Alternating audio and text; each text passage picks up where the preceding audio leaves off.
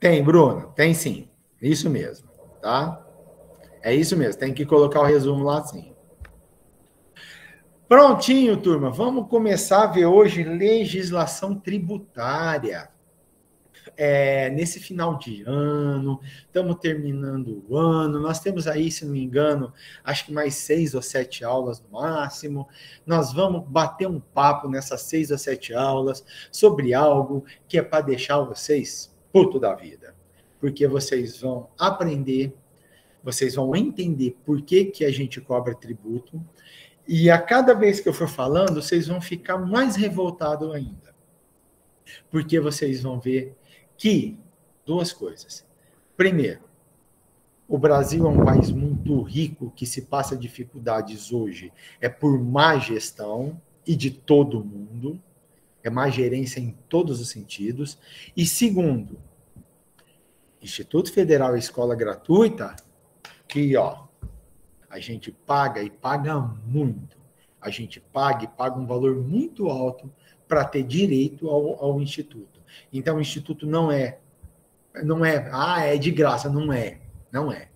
E aqui nós vamos entender por quê. Primeira coisa que eu quero deixar claro com vocês é uma, uma confusão que as pessoas fazem, que a imprensa faz demais e que aqui nós vamos desconfundir. Existe uma diferença entre tributo e imposto. O imposto é uma espécie de tributo. Tributo é o conjunto, imposto é uma espécie de tributo, que, de acordo com a nossa Constituição, são mais quatro. Né? Nós temos cinco espécies tributárias, que nós vamos ver nas nossas aulas: imposto, taxa, contribuições de melhoria, empréstimo compulsório e contribuições gerais ou contribuições especiais. São esses cinco tipos de tributos que nós temos no Brasil, sendo que um deles é o imposto. Que, que nós vamos falar? Nós vamos falar de todos. Eu vou explicar o que, que é cada um, como que funciona cada um, qual que é o jeitão de cada um, mas o, o, o bom é que nós vamos falar de todos. Nós vamos falar do geralzão, eu vou dar uma boa pincelada com vocês para que vocês entendam o nosso sistema tributário e sejam cobradores das coisas e cobrem melhorias, cobrem a, a, a, mudanças, que o ano que vem, se algum de vocês for votar, porque vários já vão completar 16, possam, podem votar, que vocês ponham a mão, ponham a mão na consciência e, e vejam planos de governo. O que, que esse governo vai fazer com o meu dinheiro? Porque ultimamente a gente está votando muito em pessoas, e isso é um erro crasso nós brasileiros esquecemos, esquecemos de que a gente tem que eleger pessoas que falem o que eles vão fazer. Não, a gente vota na figura, a figura do fulano de tal, a figura do outro, e esquece plano de governo. O que, que você vai fazer, meu queridão? Porque aí eu sabendo o que, que você vai fazer, eu te cobro. E aqui nós vamos ver o porquê. Não vai ser só na aula de hoje. Hoje nós vamos começar a bater um papo sobre isso. E conforme a gente for discorrendo, vocês vão ver que, que chatice, é chato. É chato você entender que mora num país que tem essa característica que tem a nossa. Vamos lá. Professor. Oi. Desculpa te atrapalhar. O à vontade. Sobre é, o imposto ele ser uma espécie de tributo, isso? E o tributo é o conjunto no todo. Nós temos, nós temos cinco espécies tributárias que recaem sobre a gente, né? O imposto é só uma delas, tá? Então. São cinco. Isso. Vou dar um exemplo para vocês. Quando o governo federal fala, eu zerei o imposto de combustível, manda o seu governador zerar o dele, que eu zerei o meu. Ele não zerou imposto nenhum. E não estou falando assim porque, ai, mentiu. Não, não é isso, não. No combustível entram três tributos federais. Entra o IPI, o Imposto sobre Produtos Industrializados, e esse é imposto. Entra PIS/COFINS, que é uma contribuição especial, e entra a CID Combustíveis, contribuição para intervenção no desenvolvimento econômico. Então, Quando fala eu zerei imposto, não, o imposto é um só. Os outros dois são contribuições. Então, ah, eu zerei tributos. Legal. Aí a gente vê o que, que tem, mas imposto é um só. Tá? Só para vocês entenderem. No Brasil, hoje, são 57 tipos de tributos que a gente paga. Vamos lá. Para que tributo? Professor, por que, que a gente tem que pagar essa birosca para o Estado? Vamos entender a história, que aí a gente vai entender e vai chegar no cerne do que é o tributo. Quando a gente, nós, Brasil, nem existia, mas bem lá atrás, o Estado não fazia nada, ninguém fazia nada, era tudo é, daquele jeito liberadão.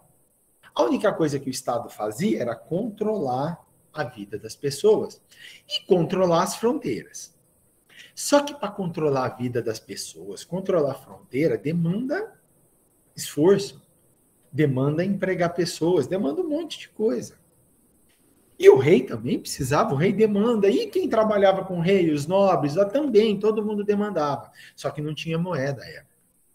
Então o que, que acontecia? Nós tínhamos um rei, depois nós tivemos o senhor feudal com a mesma cara. Então pensa aí os Césares, né? Pensa os reis babilônicos, todos rei. Depois os senhores feudais, um feudo.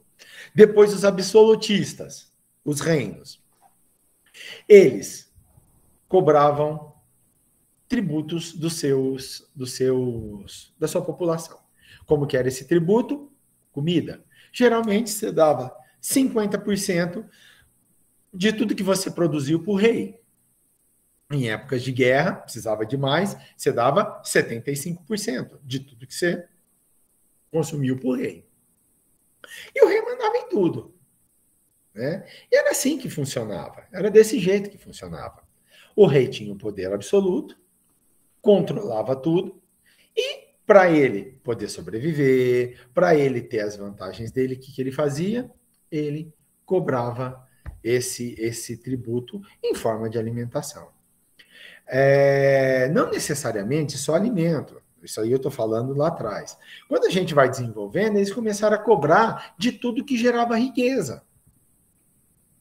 O, não sei se vocês sabem, se não sabem, vão ficar sabendo agora. É aquele tipo de cultura que a gente acaba perdendo por, por não conhecer.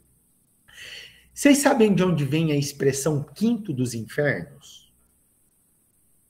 Não. Não, eu sei.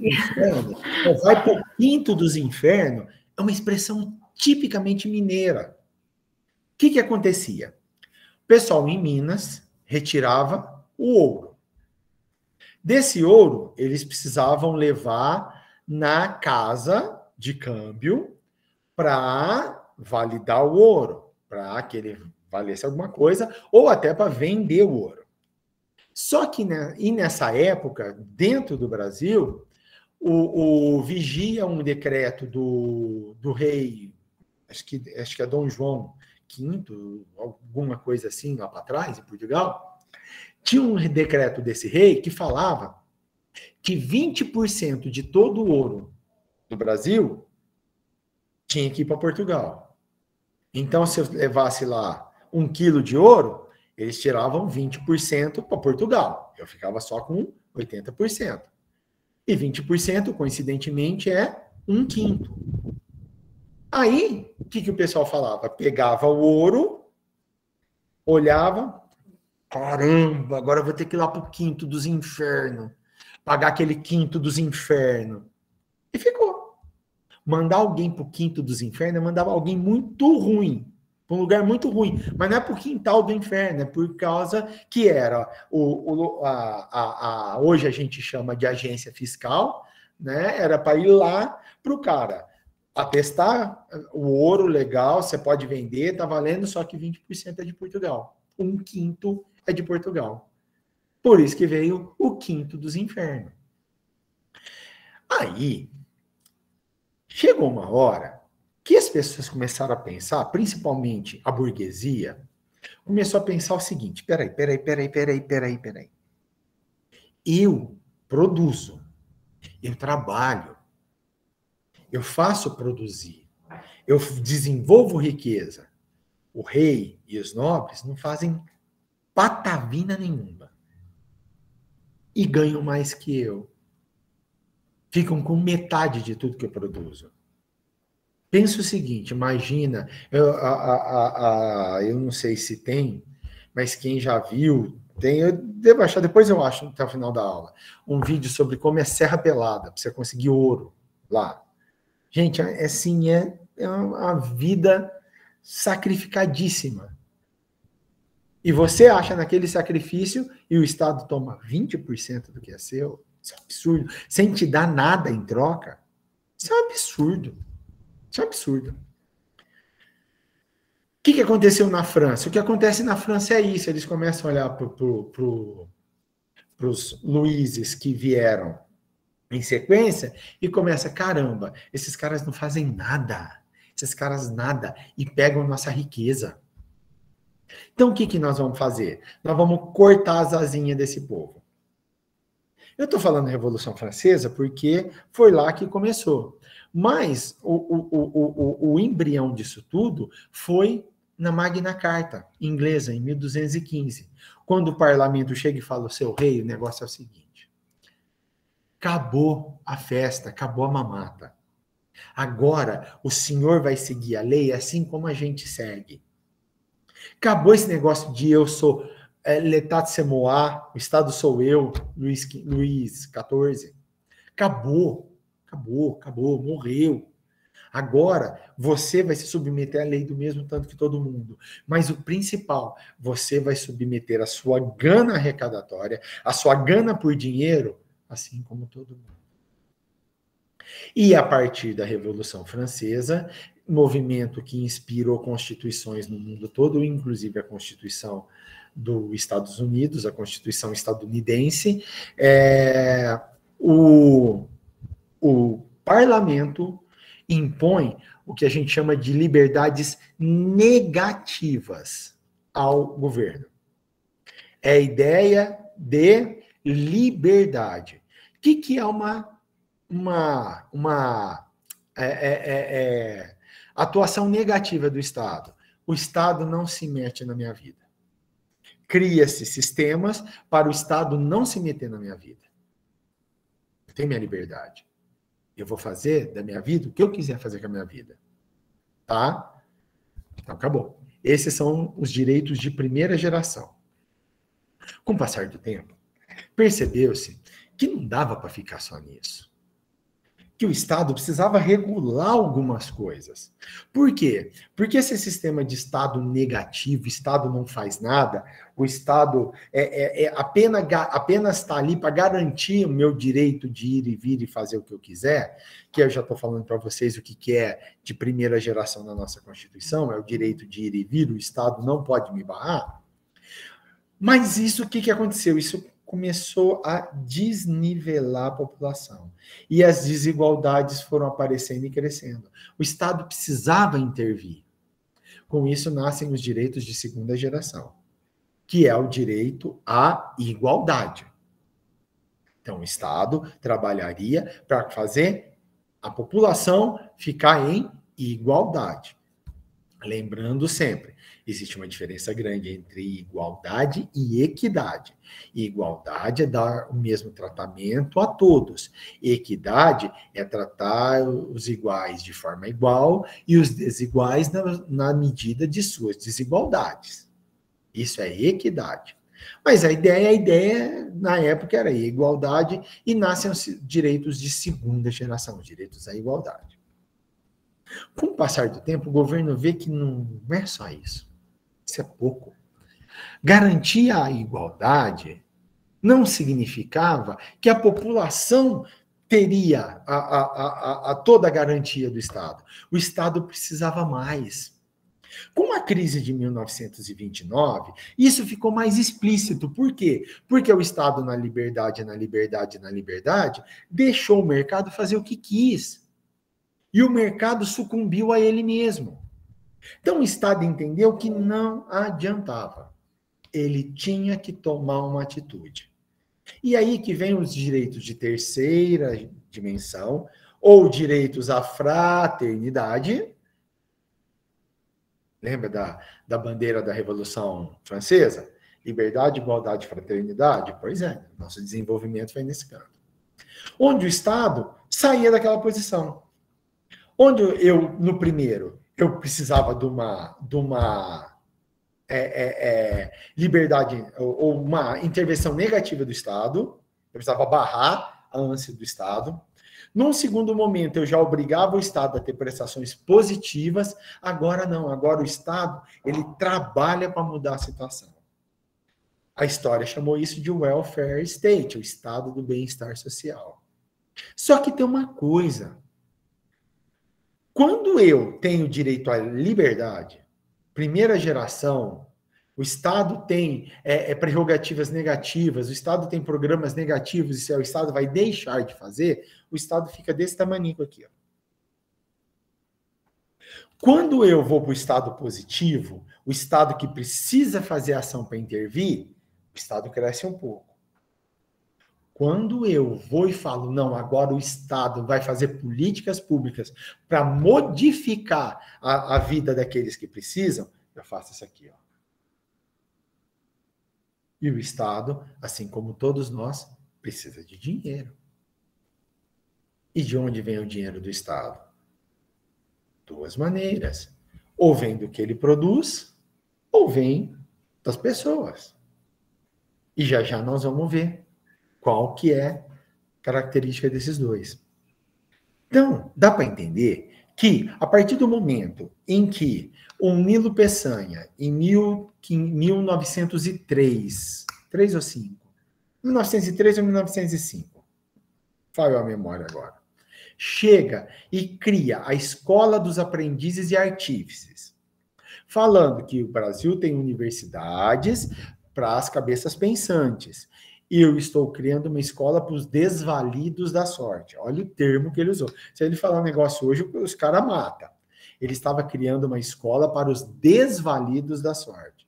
E essa escola de aprendizes e artífices, ela era para isso, para pegar a pessoa que não tinha emprego, para pegar o desempregado, baixa renda, e dar curso de manicure, dar curso de carpinteiro, marceneiro, pedreiro, mestre de obras. Foi para isso que nasceu a escola de aprendizes e artífices. Só que para ela nascer, o governo precisou pegar dinheiro para investir nela. Você não simplesmente, ó, vou fazer uma escola hoje, com que dinheiro? Não sei. Quem? Ah, tem que contratar, não tem? Tem. Quem vai pagar? Não sei. Não, você precisa de dinheiro e dinheiro garantido, com fluidez para fazer aquilo. Tá? E eu usei a escola de aprendizes e artífices, porque é lógico, é a nossa primeira denominação. Depois disso, nós viramos escolas técnicas e agrotécnicas, depois viramos Cefet e hoje somos Instituto Federal. Portanto, meus queridos, vocês são desvalidos da sorte de acordo com o presidente Nilo Peçanha. Tudo bem, é a vida. Tá? Então, ó, eu quero que vocês entendam isso. Quando o Estado começa a agir mais, ele precisa de mais dinheiro. O dinheiro do Estado não vem do Estado. Pelo contrário, o Estado é o pior gestor que tem.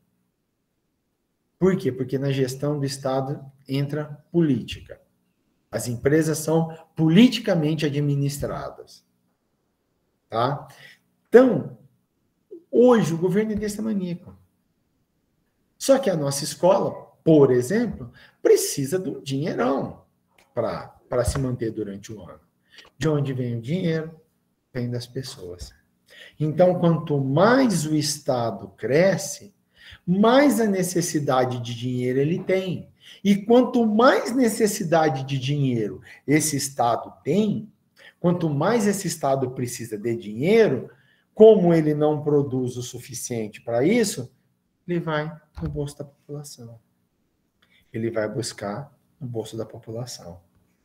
Então, quando o Estado era apenas regido por leis de liberdades negativas do Estado, que o Estado não intervia, o Estado podia ser desse tamanho aqui, ó. partir do momento que ele passa a intervir, ele precisa crescer.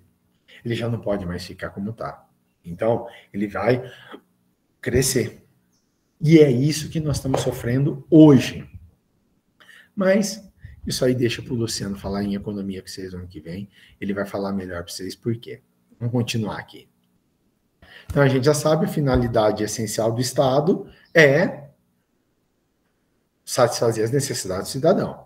Eu trouxe aqui os objetivos fundamentais do Estado brasileiro. Está tudo no artigo 3 da Constituição. Olha aqui. Construir uma sociedade livre, justa e solidária. Deixa eu marcar aqui. Livre, primeira geração, justa, segunda geração e solidária, terceira geração.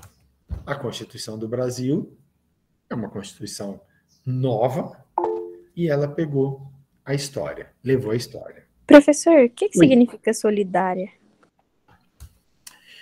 Você quer ver? É, você é solidário quando você ajuda o próximo.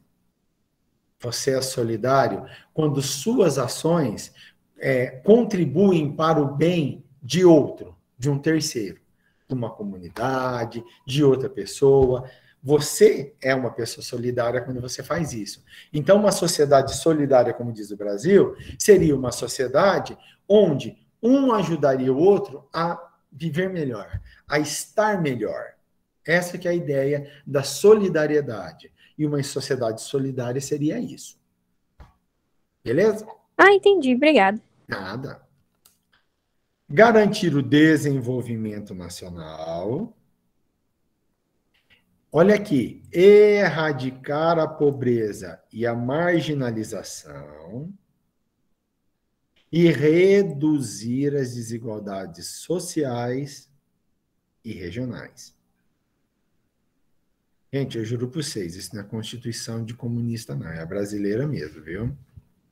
Promover o bem de todos, sem preconceitos, de forma alguma, seja origem, raça, sexo, cor, idade, qualquer outra forma de discriminação.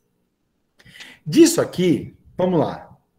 Deixa eu marcar aqui com a canetinha que fica mais fácil para vocês verem. Até a pessoa chega a rir quando lê essas coisas e vê que não tem nada acontecendo de verdade.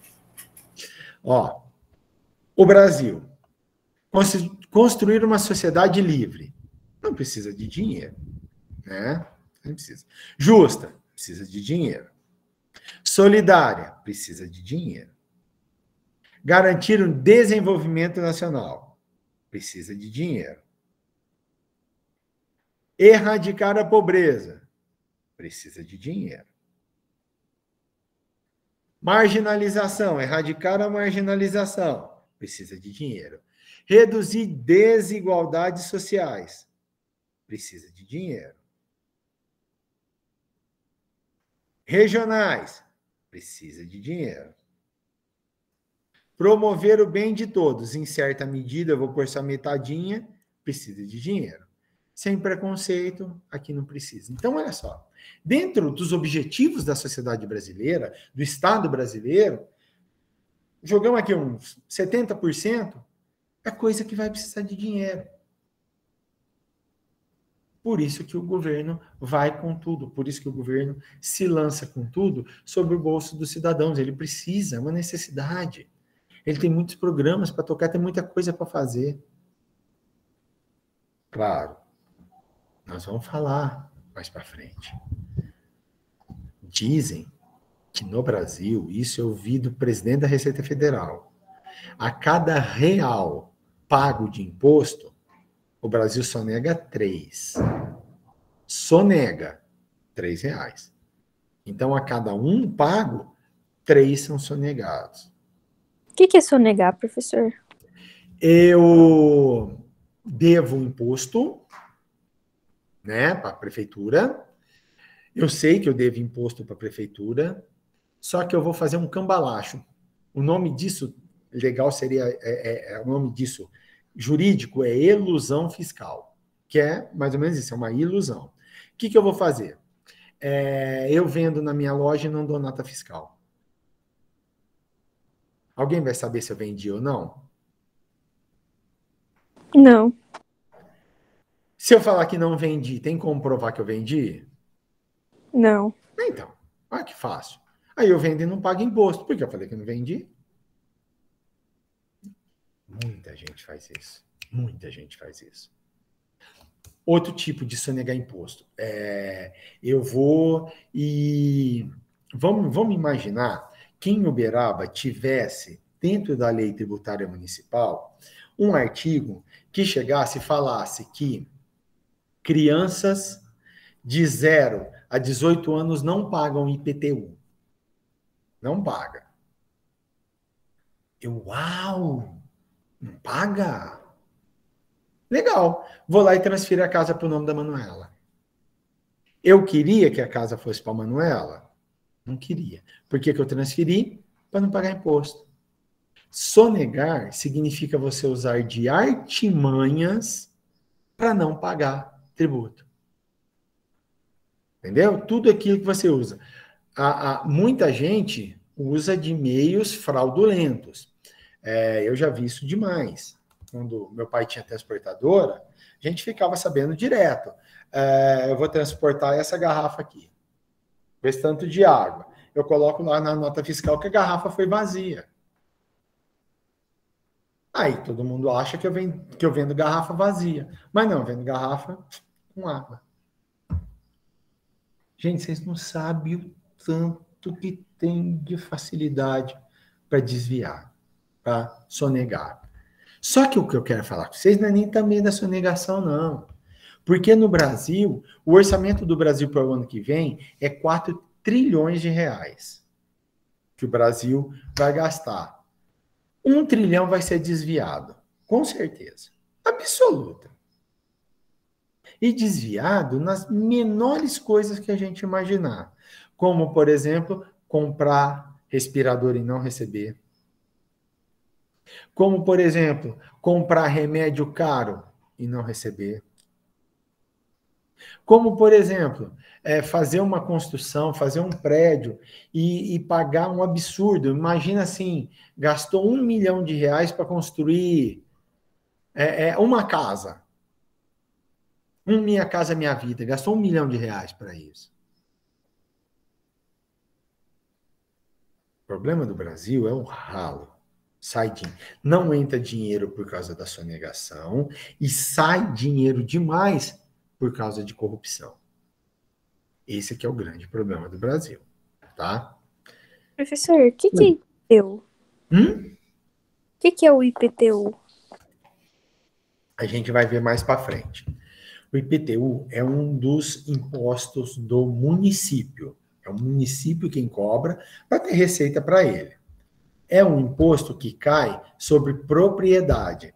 Ou, juridicamente falando, sobre denominação, sobre, desculpa, demonstração de riqueza. Toda vez que eu demonstro uma riqueza, o governo me surrupia um pedaço dessa riqueza. Ah, recebeu salário, posto de renda. Claro, recebeu. Professor, renda. até com investimento? Depende. Tem investimento que não. Quais seriam esses investimentos? Poupança, por exemplo. Poupança não paga imposto. Ah, mas poupança não rende quase nada. Então, um investimento que rende muito, vamos colocar aí. Paga. Sei lá. Paga imposto de renda. De longo prazo, Selic.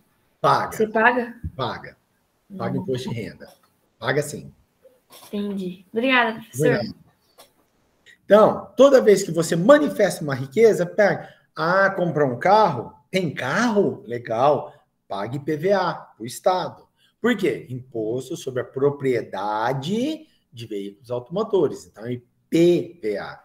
Ah, tem uma casa? Pague IPTU para a prefeitura. Imposto predial territorial urbano você tem a casa. Então, toda demonstração de riqueza que a gente tem, ela é tributada. Para continuar, né, aproveitando a resposta, no Brasil tributa-se riqueza, serviço ou serviço não, riqueza, circulação e serviço. Riqueza, Falei imposto de renda, imposto é, é, IPVA, que é sobre os, os carros e motos, IPTU, que é sobre as casas, é, circulação, ICMS, que é o imposto mais. E o que, professor? Hã? E o, e o que? O da circulação? ICMS. ICMS, isso? Isso. É o. É o. Ó. Falar nada. Ficar quieto. Mas nós vamos ter aula de ICMS, eu vou explicar por quê para vocês. Vocês vão, vocês vão entender, tá? E aí vocês vão entender o negócio. Esse é o de circulação. No governo federal é o IPI, é imposto sobre a circulação. E tem imposto sobre o serviço. Por exemplo, passa lixeiro na porta de casa. É de graça? Claro que não. É gente que paga. Junto com o IPTU, a gente, aqui em Uberaba, paga TCRSU, taxa de coleta de resíduos sólido urbano. Então, se tem lixeiro, eu pago para ter lixeiro. Tá? Então, as três coisas que o governo aqui adora, que o governo brasileiro tributa. E é isso que nós vamos ver. É, é, hoje eu estou dando só um geralzão. Conforme a gente for avançando, nós vamos vendo cada um, cada característica, e aí vocês vão se aprofundar mais nisso. E aí vocês vão entender mais a importância disso. É uma pena que a gente não tem tempo, eu não tenho tempo. Por mim, eu daria 10 aulas por semana, porque eu gostaria de falar sobre administrativo, como que funciona o Estado. Gostaria de falar sobre orçamento, para vocês entenderem o que é o orçamento.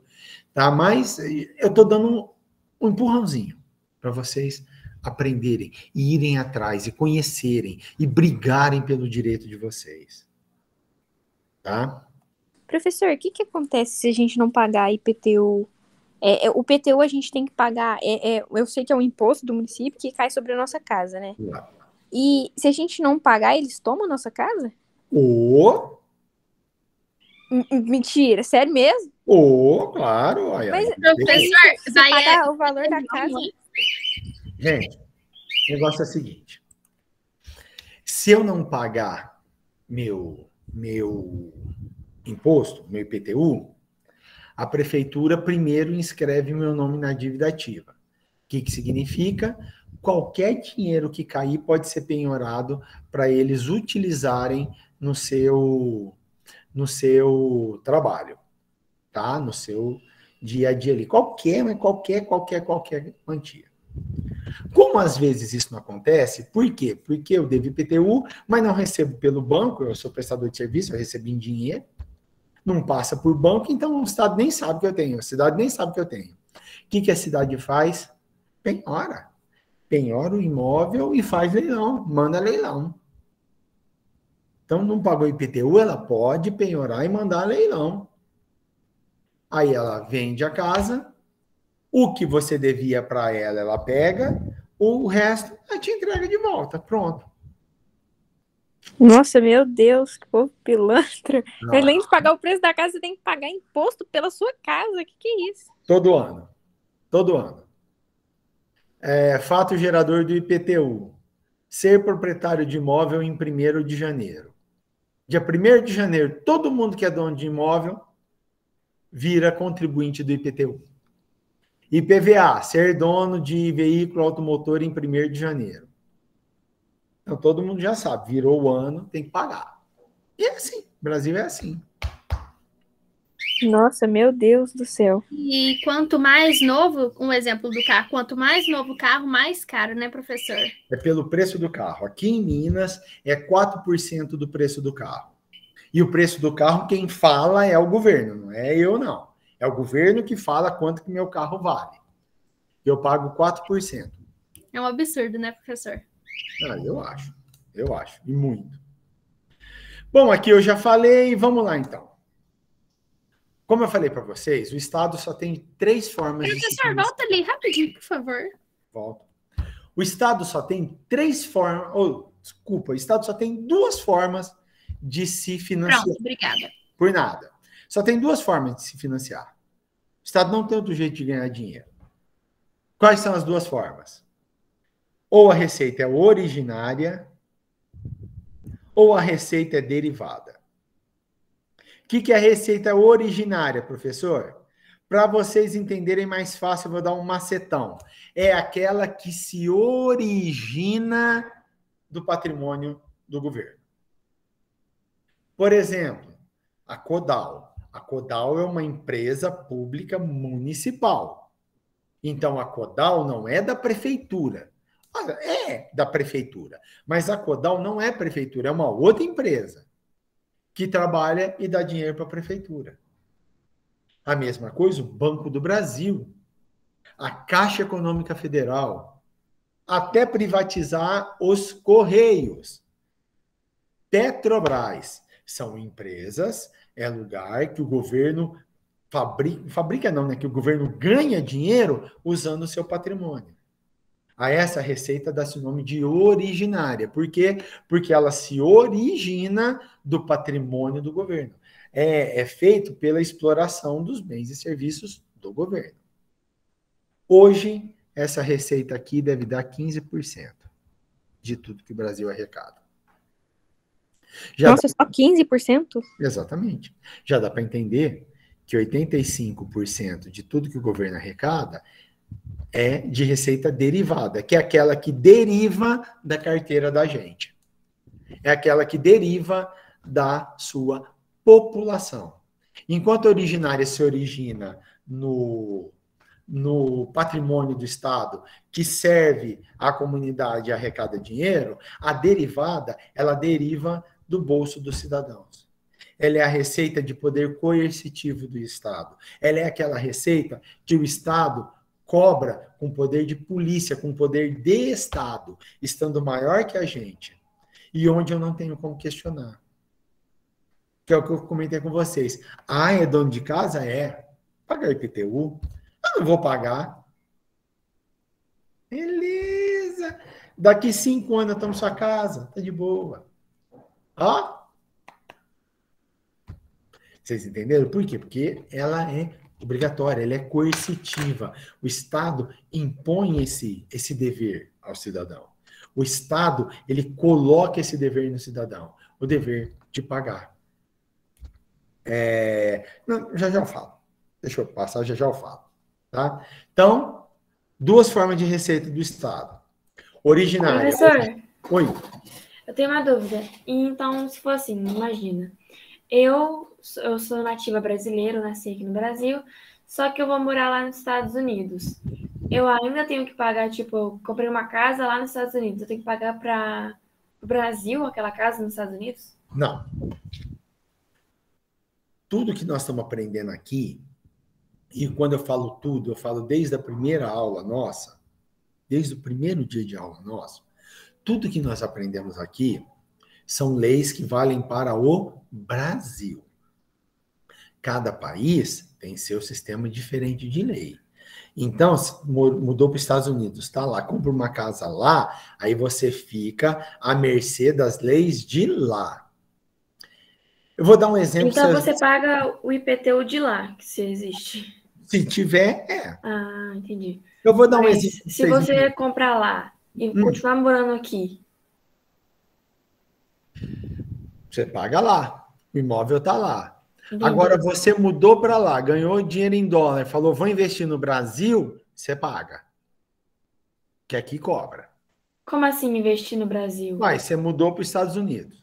Aí fala, não, eu não vou investir aqui. Eu vou aproveitar que o dólar está forte, eu vou comprar apartamento em Uberaba. Pronto. Comprou apartamento aqui, você paga. Mas eu não moro aí, você paga. Ninguém está perguntando se você mora, se não mora. É proprietário de imóvel? É. Dia 1 de janeiro, estava no seu nome? Estava. Então você paga. Acabou. Entendi, professor. Entendeu? Muito obrigada. E quando o ah. senhor vai pagar, exemplo, esse PTU ou coisa assim de imposto, o senhor tem que ir em tal lugar para pagar ou como, como que funciona? Você entra no site da prefeitura, baixa o boleto, vai no banco e paga. Nossa, meu Deus. Uhum. A prefeitura só recebe dinheiro. Se alguém aluga um imóvel, quem paga é o dono do imóvel ou quem está morando lá? O dono do imóvel. A lei é clara. O, o, o contribuinte é o quem é proprietário. Ah, mas o cara no aluguel colocou no contrato que eu que pago. Se você não pagar, a prefeitura toma a casa. O máximo que, que o cara pode fazer é te acionar na justiça para você pagar. Mas aí é ele que tem que se virar com a prefeitura. Por quê? Porque é ele quem paga. É ele quem, quem é o dono quem paga o IPTU. E sempre foi assim, é o dono quem paga. Vocês entenderem essa regra do país. Vocês devem ter ouvido, isso aí foi muito comentado na internet, do nosso querido ministro da, Educação, da, da Economia, juntamente com o nosso querido presidente do Banco Central, que tem uma conta em uma offshore. Vocês ouviram isso? Não. O que, que seria offshore? Pois é. O que, que acontece? É, offshore é uma empresa. Se falar que é uma empresa, vocês vão pensar uma hipopó. Não é. Uma offshore é uma conta em nome de jurídico, né, um nome de pessoa jurídica, com pessoas que estão lá para guardar esse dinheiro. Só que não estão guardando num lugar X, eles estão guardando num lugar que chama paraíso fiscal. O que, que é o paraíso fiscal? Eu, professor. Desculpa. Ah. Eu, professor de vocês, é, pago 27,5% de imposto de renda. Do meu salário, salário, salário que eu recebo mesmo, eu não recebo 100%. Eu recebo só 68% do que o governo me paga. Por quê? Que o governo me tira imposto de renda e o governo me tira o INSS, né, o plano de aposentadoria. Aí, aí, o que, que tem nesse paraíso fiscal? Hoje, investiu, recebeu renda, 27,5%. Nesse paraíso fiscal, não paga nada. Mas, professor, o cara mora aqui, professor do céu, o cara mora aqui no Brasil. Eu sei, mas o dinheiro dele não está no Brasil, o dinheiro dele está num lugar que não cobra de ninguém. Então, ele mantém o dinheiro lá para vocês verem como é diferente. Isso na Europa tem demais. Jogador de futebol, a grande maioria, grande maioria. Tem Por isso dinheiro o povo fora do bota dinheiro país. na Suíça? Hã? Mas por que ele não pode fazer isso, professor? O quê? Por que ele não pode colocar nesse paraíso fiscal? Pode. Pode. Pode sim. É li- n- Não estão cometendo nenhum crime. Só Mas que por que ele não pode? Aqui, o- Não, não, não. Então, falando geral, ninguém está cometendo nenhum crime. O que acontece é o seguinte: é, tem uma máxima muito falada dentro do TCU, do Tribunal de Contas da União, é uma máxima que é atribuída a Júlio César, que ele falava o seguinte: a mulher de César não deve ser apenas honesta, ela, de, ela tem que parecer honesta. Vem daí a ideia da moralidade, a ideia da moral. Você não tem apenas que ser honesto, você tem também que transparecer, que parecer que você é honesto. Hoje nós estamos com um dólar altíssimo, muito alto. Os preços estão altos do jeito que estão, um dos motivos é porque o dólar está alto. O Banco Central não interfere nesse dólar alto. Ele deixa. O ministro da Economia, o Ministério da Economia não interfere, estão deixando o dólar ficar como está. Só que o ministro da Economia e o presidente do Banco Central têm investimentos fora do país em dólar. Quanto que eles ganham a cada aumento que o dólar tem? Sem fazer nada. Eles não gastam em dólar, eles gastam em real. Há dois anos, alguém tivesse mil dólares na carteira teria aí em torno de 3.500 reais, convertendo. Hoje, sem fazer nada, sem produzir nada. A pessoa botou mil dólares na gaveta e falou, não vou fazer nada com esse dinheiro, larga aí. Quanto que ele vale hoje? 5.670 no último câmbio que eu vi. Sem fazer nada. Então, o dólar alto, ele beneficia quem tem dinheiro fora do país em dólar, em offshore, em dólar. E a partir do momento que você tem um ministro da Economia e um presidente do Banco Central que tem, é complicado, difícil. Ele está errado? Não está. Não está. Pode, pode. Muita gente faz? Faz. Tem demérito nenhum.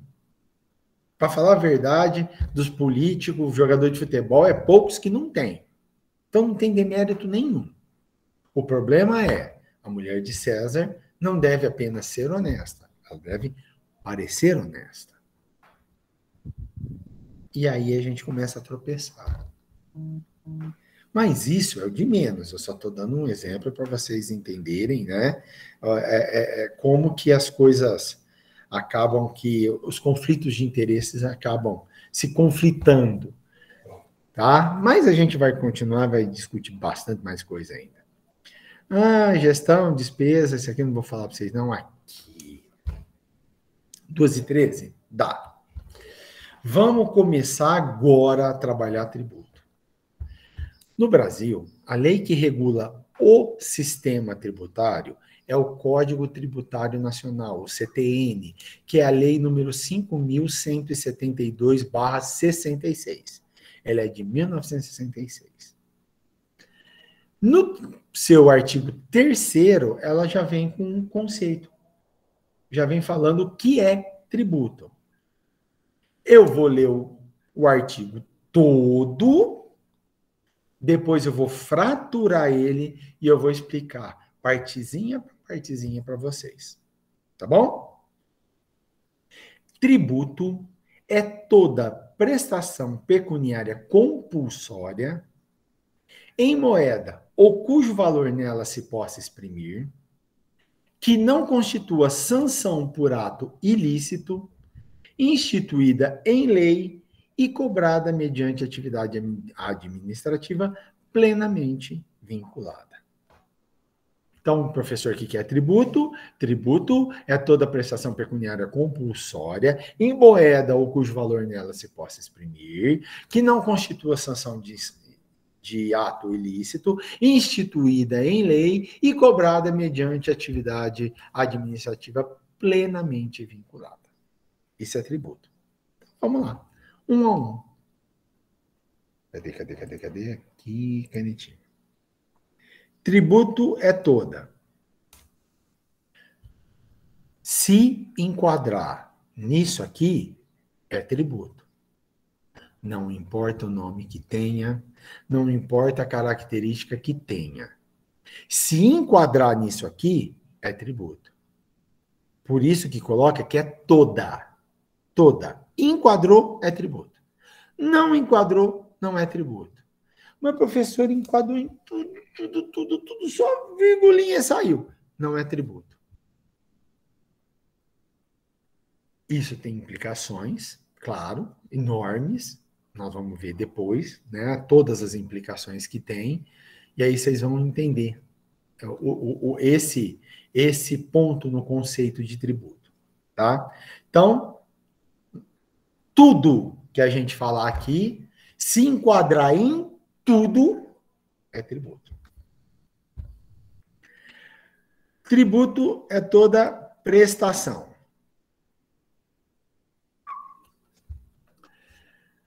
Quando a gente vai na, numa loja, não tem dinheiro para pagar à vista, a gente paga parcelado. Então a gente paga em parcelas. Convencionou-se chamar isso, porque legalmente o nome é esse, de prestação. Tem pais da gente que ainda, quando vai numa loja, não pergunta, ah, vou pagar em quantas vezes? Não, é quantas prestações?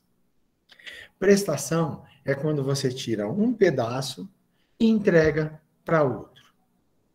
Então eu já sei que tributo é um pedaço de alguma coisa que eu vou entregar para alguém. É uma prestaçãozinha que eu vou entregar para alguém. Já estou sabendo isso. Tá? É a primeira coisa que eu já sei logo de cara. Tá? Então, tributo é toda prestação, qualquer prestação. Pecuniária. Pecuniária vem de pecos, que vem, que originou também a palavra pecuária. Pecuniária é vem do, das moedas antigas. Antigamente o boi era moeda. Antigamente o boi era um, um, um, centro de valor. Então usava o boi como moeda. Daí que veio a ideia da pecúnia. Como o boi era moeda, então usava a moeda como pecúnia. Né? Em latim, moeda se fala pecúnia. Então, é toda prestação pecuniária, isso é toda prestação paga em dinheiro. Em dinheiro. Ponto final, tá? E como nós vamos ver, esse artigo é cheio disso, já temos uma redundância aqui. Olha aqui.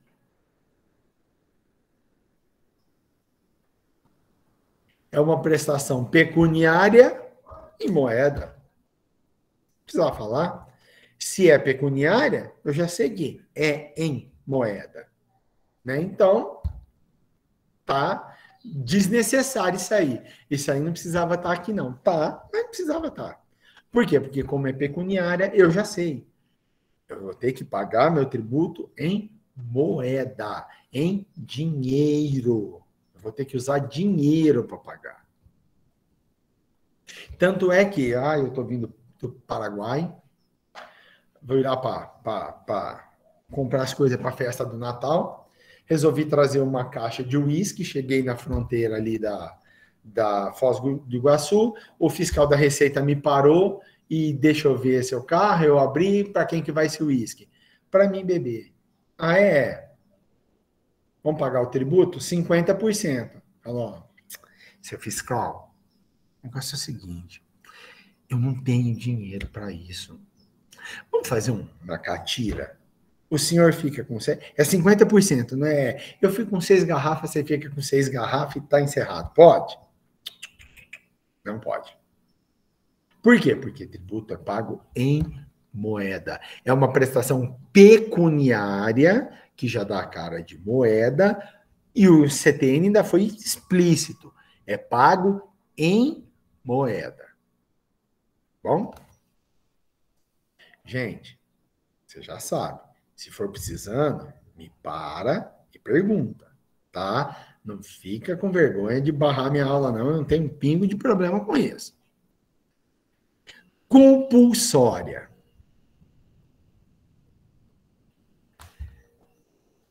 Pergunte para qualquer um do pai de vocês. Ô pai, é, se pagar imposto, fosse facultativo, você pagava? O senhor pagava? 99,99999999, porque eu não posso afirmar com 100% de certeza, mas eu posso afirmar com 99,9999999% de certeza que não. O quê?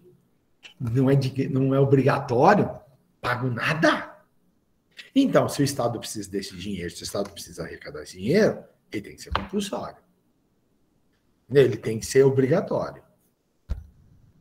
Você tem que ter um arcabouço legal que fale exatamente quem vai pagar, quando vai pagar e por que vai pagar. Mas isso serve para todos. E nós somos obrigados a pagar vocês terem uma ideia, nós, professores, aliás, todo mundo que trabalha e que enquadra no imposto de renda, você já recebe o seu salário sem imposto de renda.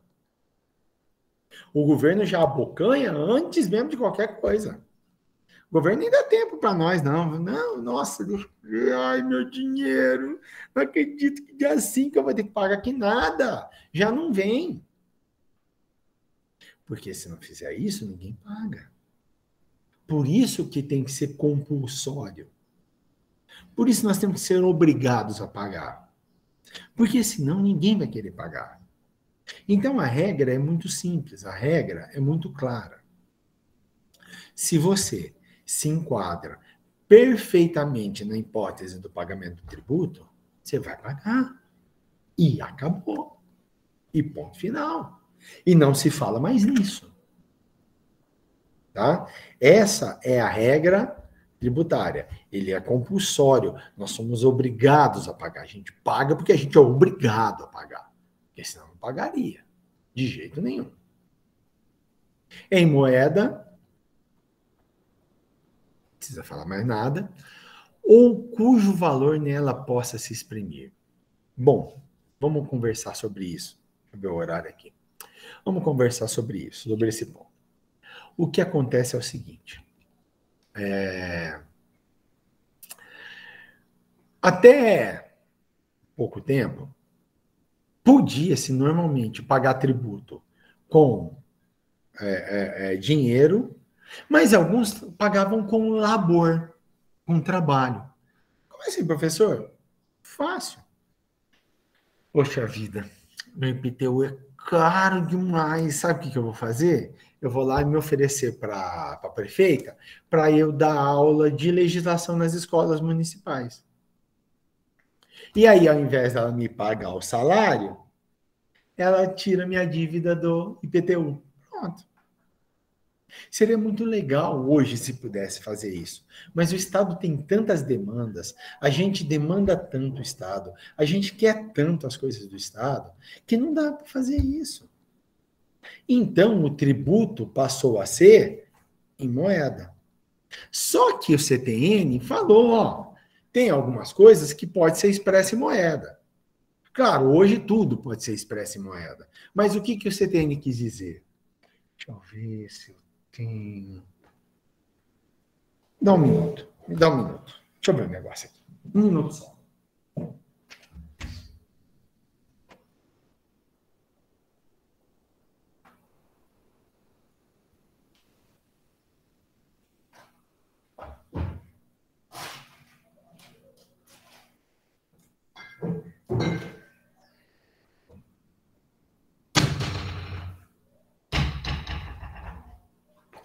Não estou fazendo apologia, não, hein? Ó, vou parar com esse negócio de falar que eu estou fazendo apologia, tá?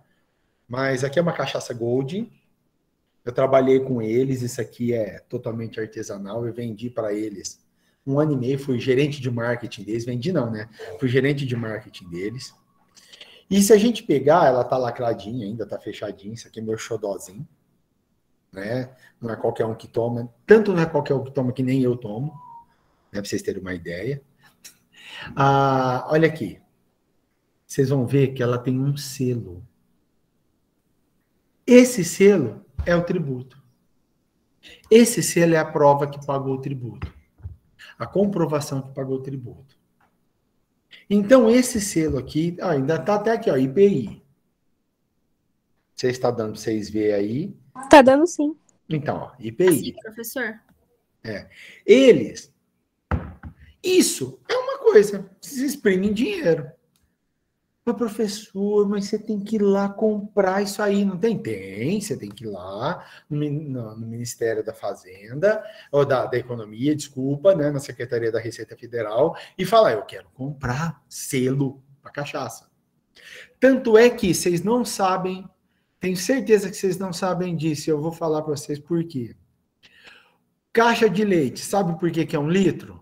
Porque a tributação do leite é exatamente sobre um litro. Então fica fácil do governo controlar quantas caixas de leite que são produzidas. Por que, que a garrafa de coca, há muito antigamente, hoje liberou muito mais, mas bastante antigamente, era um litro. Por causa disso, pela tributação. Maço de cigarro vem 20. Por quê? Por causa da tributação. Esse aqui é um litro, né? Ah, não, esse aqui é de 750 ml. Por que, que é 750?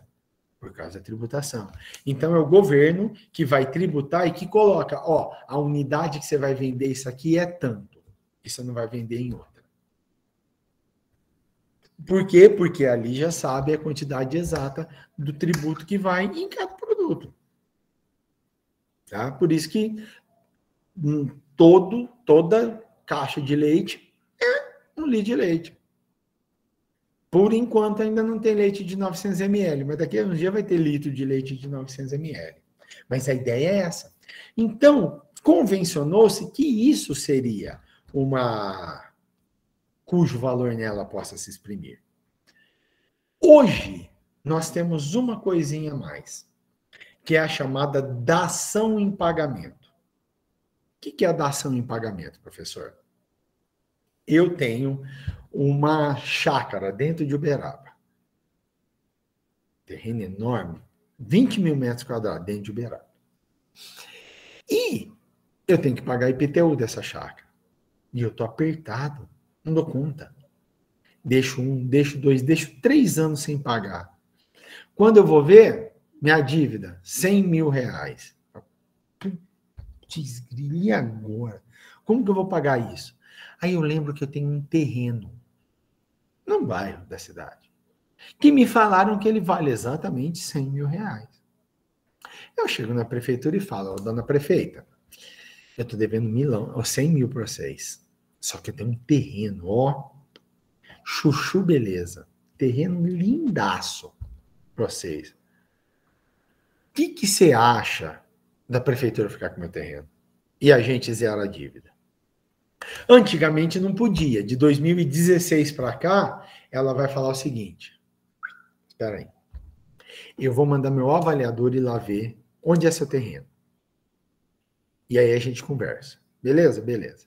O cara vai lá e olha, esse terreno interessa à prefeitura? Esse terreno pode ter alguma coisa de interesse da prefeitura, um, um hospital, uma escola, uma praça, um que que for. Esse terreno tem serventia para a prefeitura? Tem. Qual o preço desse terreno? Quanto custa esse terreno? Ó, pela aqui as contas, 100 mil, é? Beleza. A prefeita vai lá, chama o cara e fala, ó, aceito.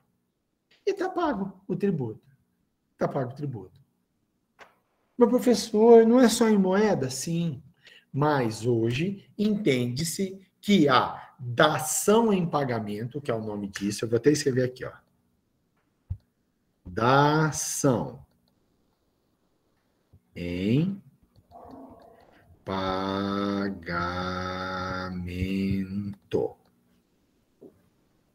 A dação em pagamento, tá? Essa dação pode.